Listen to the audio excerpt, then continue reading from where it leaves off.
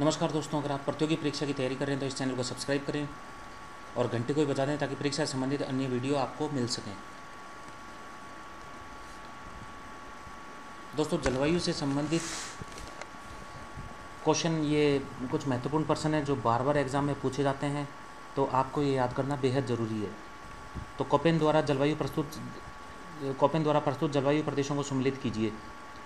ए W दक्षिणी Rajasthan B W H W शुष्क मरुस्थल बी एस एच डब्ल्यू अर्ध शुष्क मरुस्थल सी डब्ल्यू जी शुष्क शीत जलवायु प्रदेश। मावट होती है पश्चिमी विक्षोभों से।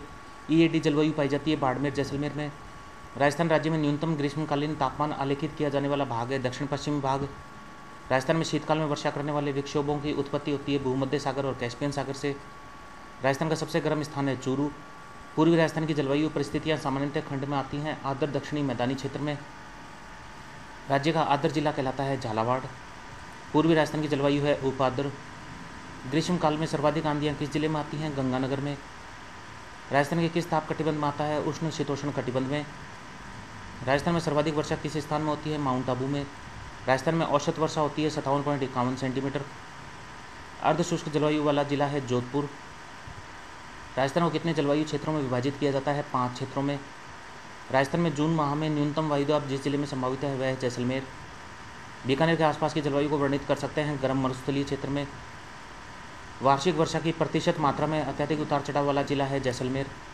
राजस्थान के कम वर्षा का कारण अरावली पर्वतमाला की कौन सी स्थिति कारण है, इसका मानसून के समानांतर होना।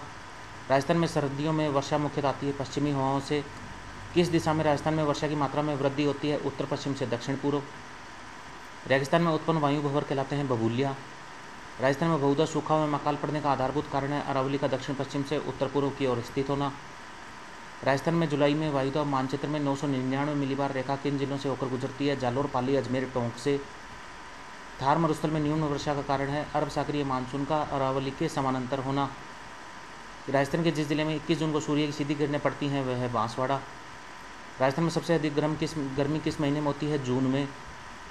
एक हज़ार मिलीबार की समदाब रेखा जुलाई माह में गुजरती है। सिरोही, चित्तौड़गढ़, कोटा बारह से वर्षा ऋतु में मानसून हवाओं की दिशा होती है दक्षिण, पश्चिम से उत्तर पूर्व कॉपेन ने जलवायु प्रदेश के वर्गीकरण का आधार माना है वनस्पति। वर्षा को जलवायु प्रदेशों के वर्गीकरण का आधार माना है थार्नवेट ने।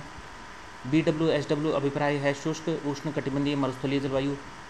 डी ए डब्ल्यू जलवायु पाई जाती है मेवात में। ई ए डी जलवायु पाई जाती है बाड़मेर, जैसलमेर में। राजस्थान में कौन सी जलवायु नहीं पाई जाती? ध्रुवीय जलवायु नहीं पाई जाती है। तो दोस्तों, ये महत्वपूर्ण क्वेश्चन है जो आपको याद रखने हैं।